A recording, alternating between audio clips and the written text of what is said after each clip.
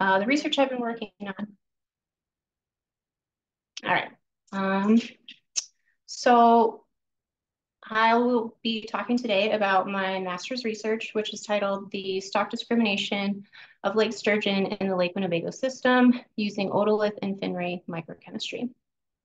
I want to start off by thanking my committee, Dana Isermann, Dan Dembkowski, Kyle Herman, and Margaret Stadig. And I'd also like to acknowledge that all of the funding for this project was provided by the Wisconsin DNR through the Lake Winnebago System sturgeon and spearing tags. So without DNR and without those spearers and without my committee, uh, we wouldn't have any of this research. So thank you to everyone. Oh. All right, I tried to progress.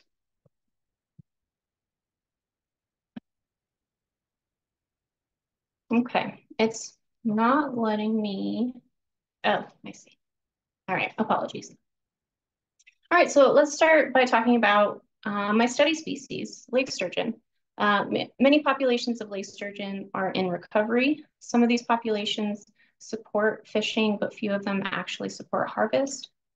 The goal of many recovery efforts is to provide future fishing opportunities. Um, however, the species is vulnerable to overfishing because a long lifespan, late maturity, and low recruitment make it difficult for the species to recover after unsustainable mortality rates. and thus, a sustainable fishery requires careful management of the species. So the study area is the Lake Winnebago system.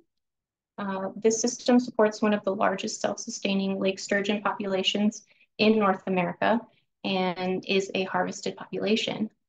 This system is a riverine lake watershed located in east central Wisconsin. It is composed of Lake Winnebago, the largest inland lake in the state, the upriver lakes, which are Butte-des-Morts, Winneconne, and Poygan, and four main tributaries, the Upper Fox River, the Little Wolf River, and the Embarrass River. I apologize. Um, I'm gonna pause just for a second because I keep getting all these things pop up on my screen as people are joining. So let me see if I can change that. All right.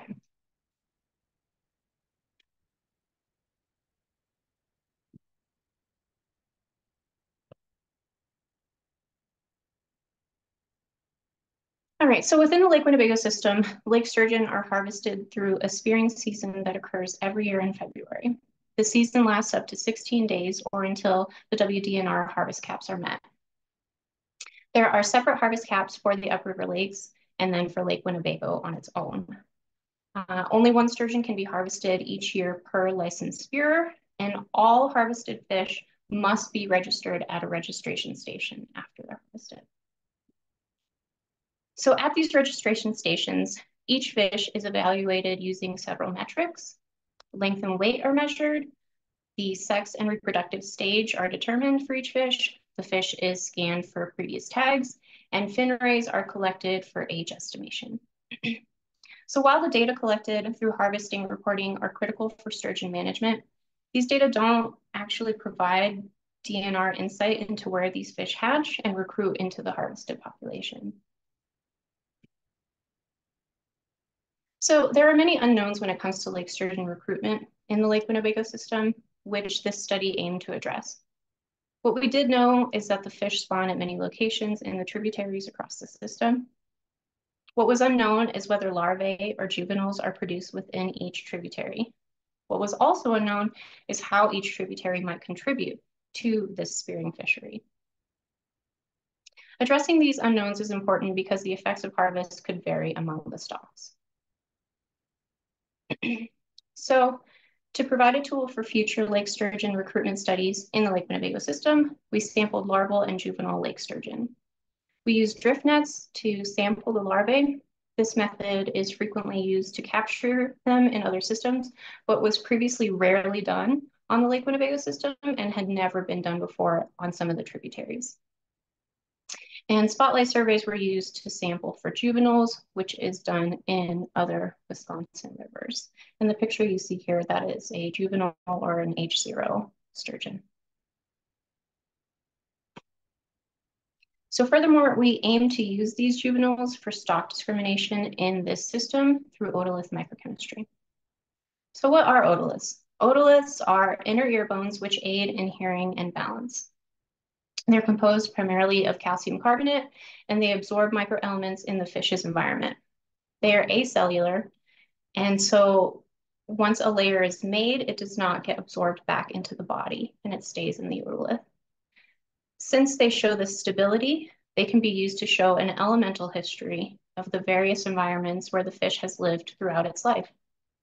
The general idea behind my study was that if the elemental signatures vary among the tributaries in the Lake Winnebago system, we'd be able to use the chemical signatures in otoliths for stock discrimination to identify the natal origins of lake sturgeon in the system. Unfortunately, obtaining the otoliths requires sacrificing fish, which makes this process a lethal one. And since otoliths are not available for all sturgeon populations like they are in the Lake Winnebago system, as fish sacrifice is not conducive to their recovery, fin ray microchemistry might provide a non-lethal alternative for identifying natal origins of these fish. Fin rays are already commonly collected from many sturgeon for age estimation, and the sturgeon registration in the Lake Winnebago system provides a unique opportunity to collect both otoliths and FinRays. And thus, my objectives were to determine if larval relative abundance varies among spawning locations in the Lake Winnebago system. This information will be used to inform future habitat management of these areas. Next, we wanted to determine whether otolith microchemistry can be used to discriminate among age zero lake sturgeon residing in rivers where spawning occurs. We also wanted to determine if chemical signatures in FinRays cluster fish in a similar manner to otolith signatures. And lastly, we aim to determine whether contribution to spearing harvest determined from microchemistry analyses varies among the rivers in the system.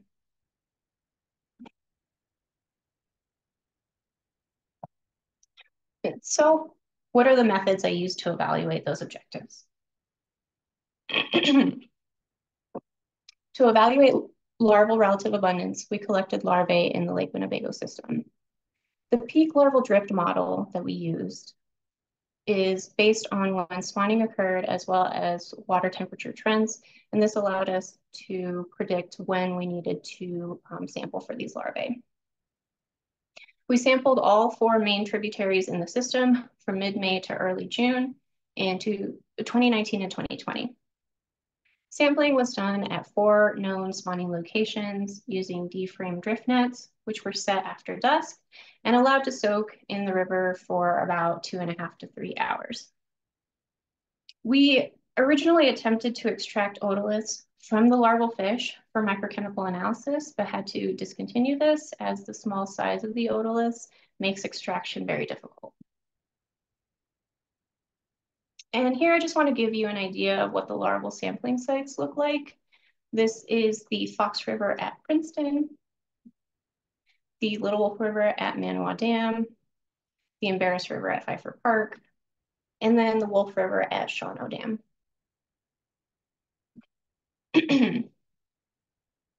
so we measured relative larval abundance in catch per effort or CPE per site which is the total larvae captured divided by the total time the net spent in the water or total net hours. This was split up by sampling occasion, or in other words, a night of sampling. To analyze those CPE data, I first determined that the data were non-normally distributed. I attempted several data transformations, but was unable to achieve normality, so non-parametric tests were used to further evaluate the data. The questions we aimed to answer here were whether relative larval abundance varied between years and whether it varied among sites. So to evaluate our microchemistry-based objectives, we first looked at water chemistry.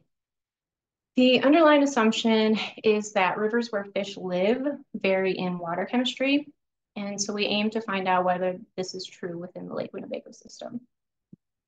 We took samples at 10 tributary locations and took three replicate samples at each of these sites. We collected samples in 2017 and then again in 2020 to evaluate the temporal variability of water chemistry within the tributaries. The resulting microelemental concentrations were converted to molar concentrations. Then the ratios of each element in relation to calcium were calculated. And calcium is used as the baseline in this study because otoliths are composed primarily of calcium carbonate. These elemental ratios were then averaged by site, and these mean elemental ratios were normalized via scaling. Then the mean elemental ratios for barium, magnesium, manganese, and strontium in relation to calcium were run through a principal components analysis or a PCA. This analysis reduces the dimensionality of a large multidimensional data set and allows us to visualize in two dimensions how the samples relate to each other. A PCA also ranks the variables, or here, the mean elemental ratios, by the relative contribution they make to the overall analysis. So after looking at water chemistry, we needed to see how that translates into fish structure microchemistry. If you recall, we were unable to collect otoliths from larvae because of their small size. However, lake sturgeon reside in these rivers for several months after they hatch, and it is much easier to extract otoliths from these larger fish, so these juveniles became the baseline for our microchemistry study. Juveniles were collected before outmigration, out which means they were still within the first year of their life. The goal was to collect from all four main tributaries, the Wolf, Little Wolf, Fox, and Embarrass rivers.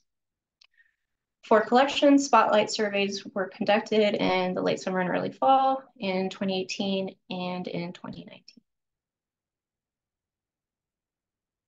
So to collect our adult samples, we utilized the registration stations during the 2018 and 2019 spearing seasons. These fish were harvested both from the upriver lakes and Lake Winnebago. Fin rays were collected from every fish at the registration stations, as I mentioned previously. And then the otoliths came from a subsample of those fish for which the heads were returned as voluntary submissions from spearers. For the heads, spearers were given an ID tag to link these returned heads to corresponding fin rays. Samples were distributed between sexes, across length bins, and among the harvest zones to get a representative, representative sample of the population. We then removed sagittal otoliths and a pectoral fin ray from juveniles and the otoliths from the adults. We removed sagittal otoliths because they are the most commonly used in these types of studies and are the largest pair, making them easier to work with. The diameter of all juvenile structures was measured, and then the minimum diameter for each structure type served as the length of the core region to be analyzed in the adult structures. These samples were then mounted to slides with cyanoacrylate cement, which is just a fancy word for super glue. And then they were cleaned with ultra pure water to help eliminate possible contamination prior to microchemical analysis.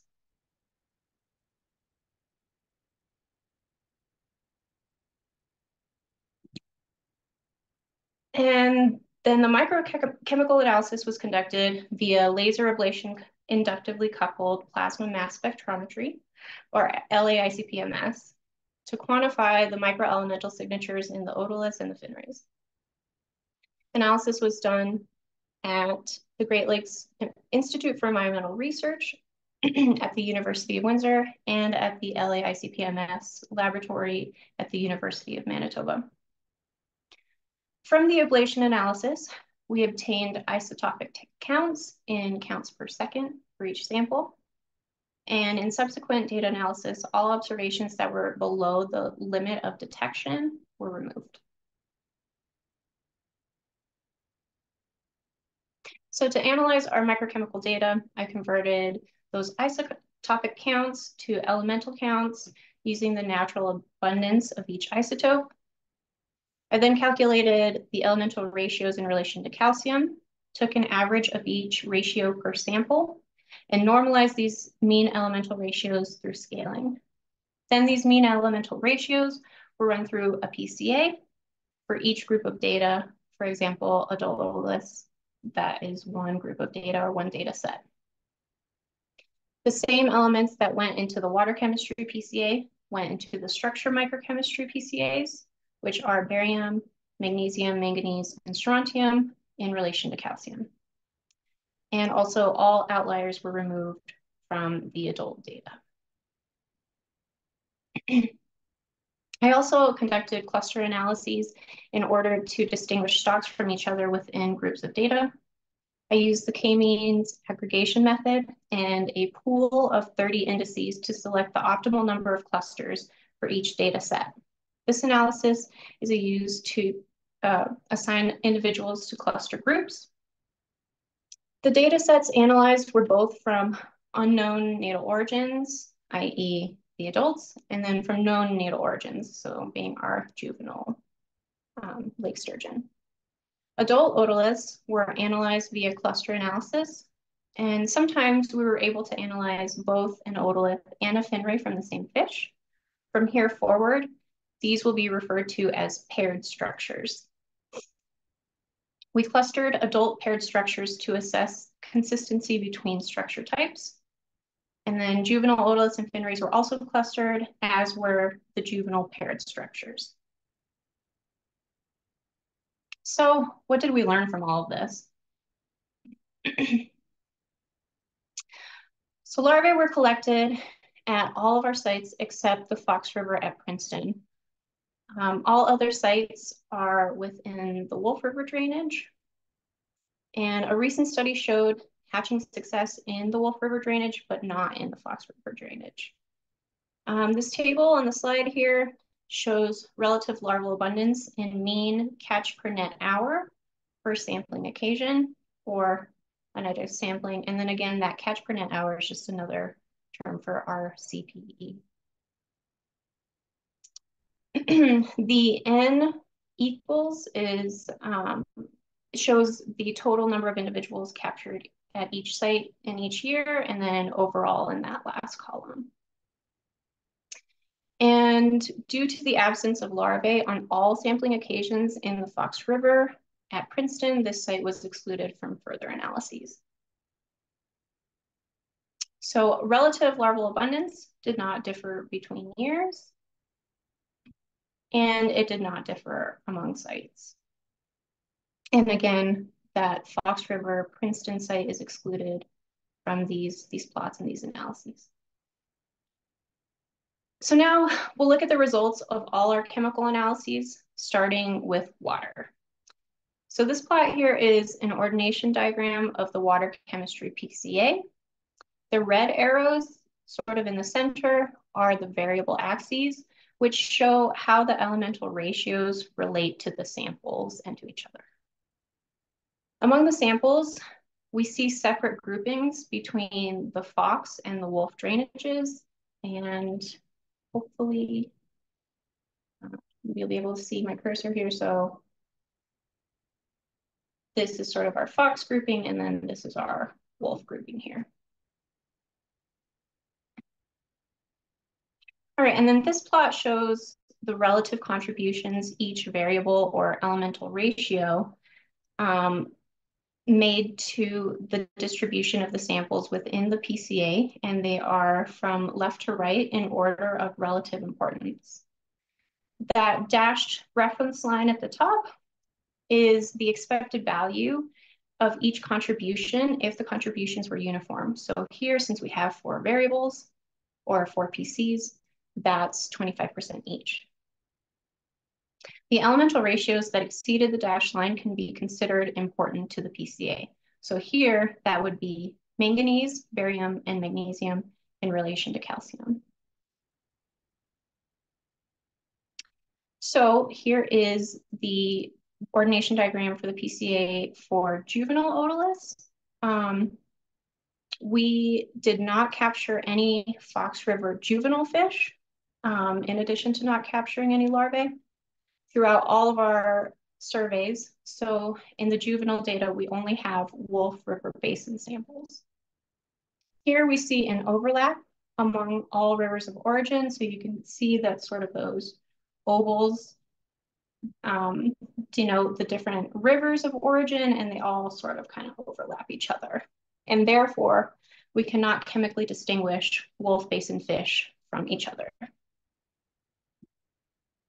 And the important elemental ratios here were strontium and barium in relation to calcium.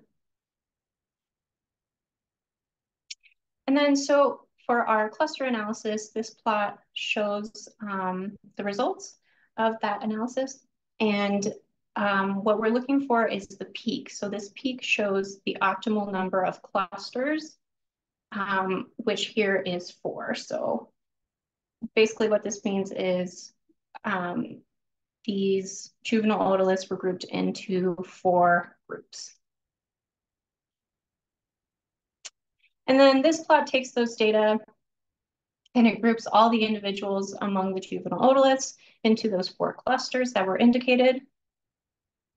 Within these clusters, we actually have a mix of individuals from different rivers, except for cluster four in that bottom left corner, which is just one individual on its own.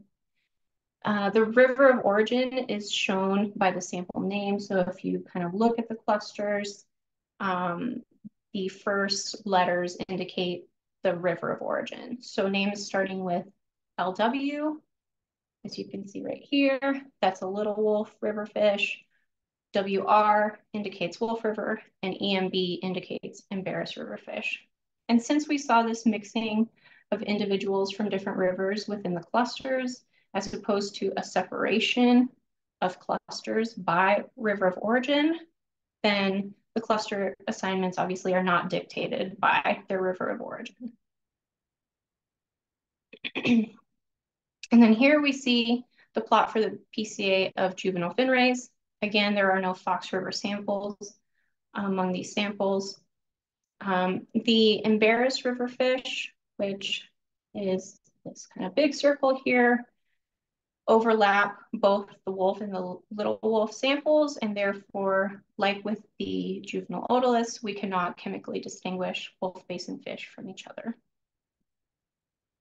And the important elemental ratios here were strontium and magnesium in relation to calcium.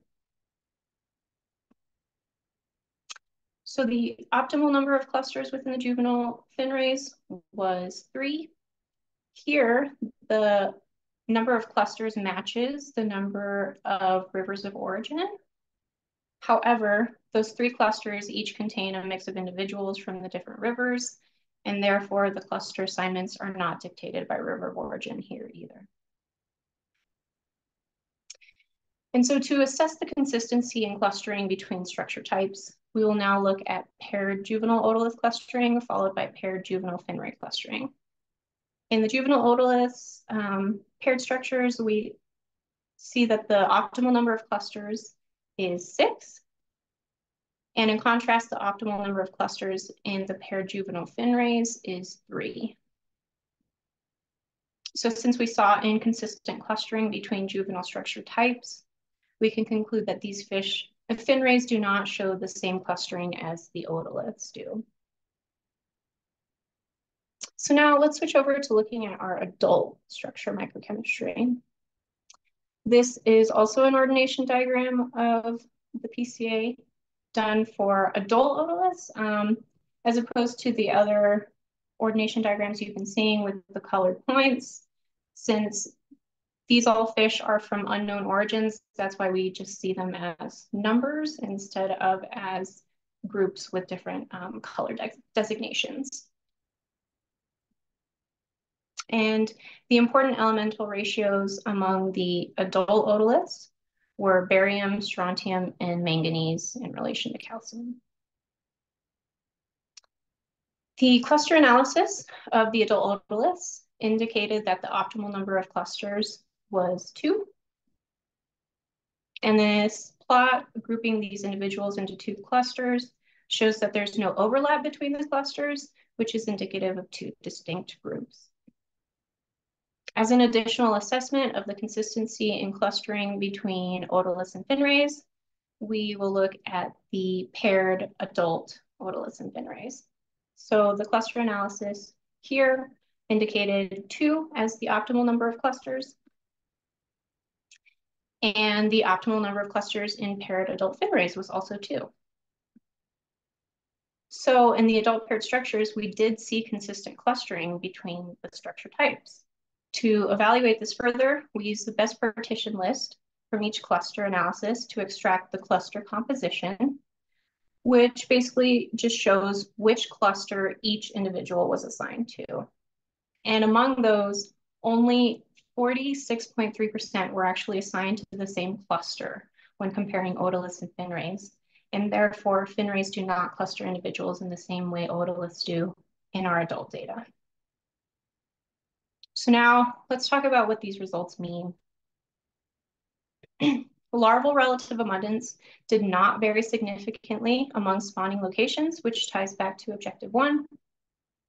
Lake sturgeon hatched successfully at spawning sites in Wolf in the Wolf River drainage, but not at the Princeton um, site in the Upper Fox River. This appears to be due to factors influencing eggs after deposition. Notable factors among these are siltation and periphyton biomass in the Fox River, as identified in that recent study. Larval catch rates were low compared to previous studies, except in Tucker et al.'s recent study in the lower Fox River. This could indicate poor hatching success and low larval survival, or this could be due to differences in spawning locations, larval sampling design, and sampling effectiveness among the studies. In my study, sites other than Shawano Dam were small and attracted few adult sturgeon compared to other Wolf River Basin sites and compared to previous studies. And water chemistry showed separate groups between the Fox and the Wolf drainages, and the main stem Wolf River had water chemistry similar to its tributaries. So adult otolith and fin ray microchemistry indicated two groups among the fish speared from the Lake Winnebago system. Groupings were not consistent between structures, which addresses objective three. The two group model we saw is consistent with the grouping seen in our water chemistry, which suggests a chemical difference between the fox and wolf drainages. However, adult otolith chemistry does not align with the water chemistry. We saw this by comparing the important elemental ratios in each data set, which in water were manganese, barium, and magnesium, and in adult otoliths were barium, strontium, and manganese. And again, those are in order of importance. Since no juveniles were collected from the Fox River, we could not determine a baseline for evaluating whether the two groups seen in the adult structure chemistry represents adults originating from the Wolf and the Fox River drainages. And this ties back to objectives two and four. And so now let's wrap everything up. Um, so very, very few lake sturgeon go to the Fox River to spawn, and there are very low egg densities there. Habitat conditions in the Fox River may not be conducive to egg survival, the recently concluded study assessed habitat characteristics in the Lake Winnebago system and concluded that siltation and periphyton biomass in the Fox River may influence hatching success. Our water chemistry results suggest that otolith and fin ray microchemistry may be used to identify natal origins of Lake Winnebago system lake sturgeon on a basin-wide scale, or in other words, Wolf River Basin versus Fox River Basin. The important elements were inconsistent between the water and the structures, and we would need Fox River juvenile sturgeon or surrogate species as a baseline to investigate this further. Genetic approaches may offer an alternative to microchemical methods, but this would rely on the relatedness of the, the individuals rather than stock discrimination, which was the goal of this study. So with that, I'd like to thank the many people that were involved in this project. Um, many more people beyond those that are listed here were either involved in the project itself or supported me um, both in school and personally. I'd also like to give special thanks to my friends and family for all their support throughout this process. And with that, I'll take any questions anyone might have. All right. We do have time for questions. I see uh, if you if somebody wants to raise their hand, I'm gonna try to figure out how to. I'd like to unmute everybody and then have them be able to talk, but I can't see how to do that. So if you have a question, if you want to use your that raise hand symbol, I can unmute you individually, I think. Actually,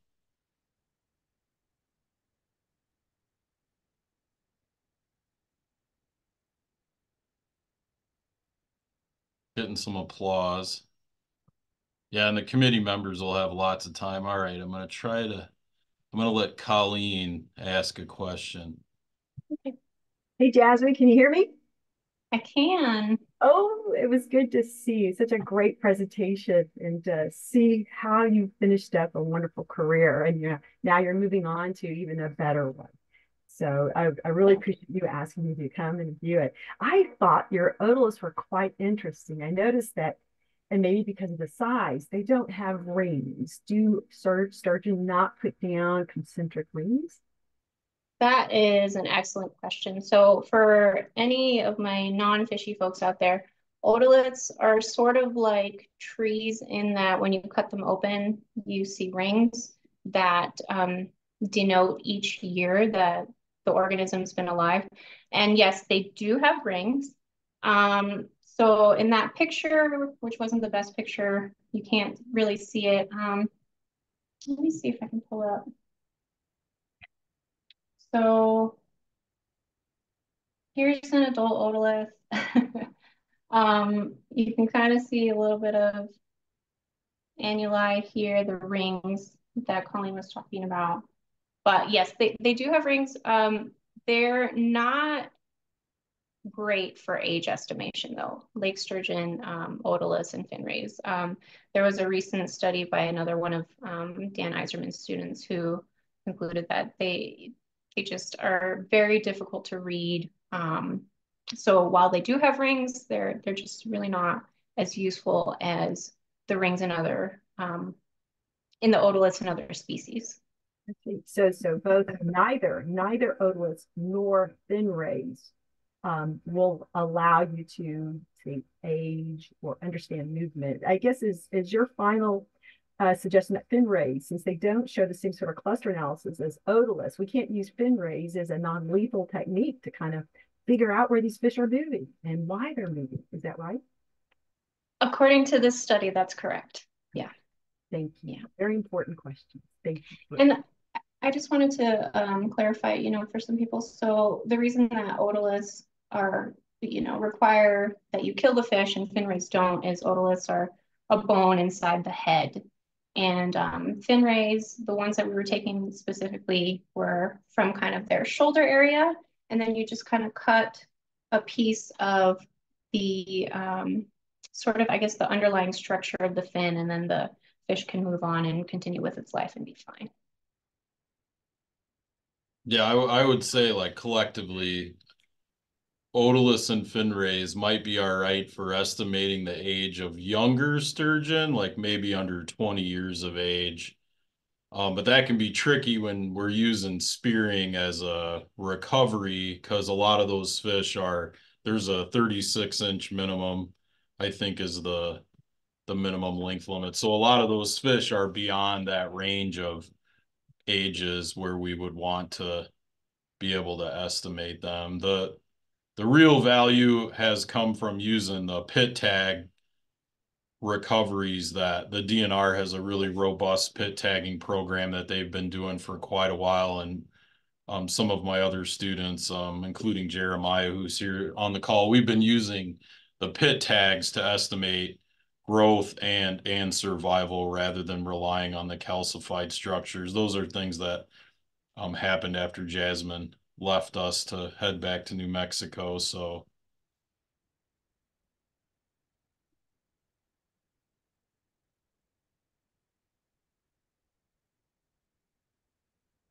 All right, well- I'm not seeing any other hands. Oh, Colleen, you, you just, did you raise your hand again? I'll, I'll see if it was, might just be the first. one. No, no, I didn't. I'll lower my hand up. All right, no problem. Good job, Jazzy. Thanks, Colleen.